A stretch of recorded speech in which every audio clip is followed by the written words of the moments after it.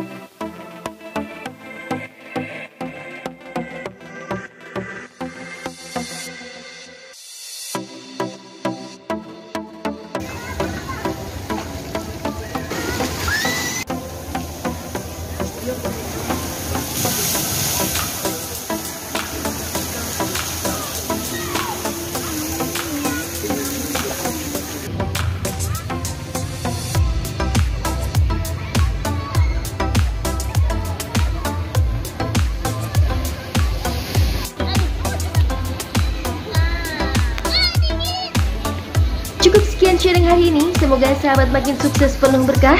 Jangan lupa bahagia. Wassalamualaikum warahmatullahi wabarakatuh.